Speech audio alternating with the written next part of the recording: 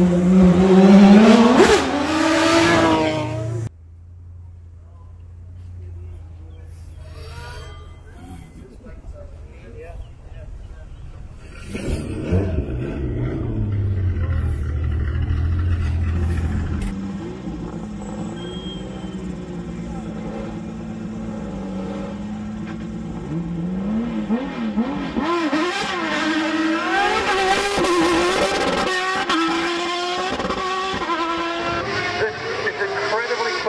car that he built himself. a the Renault race engine.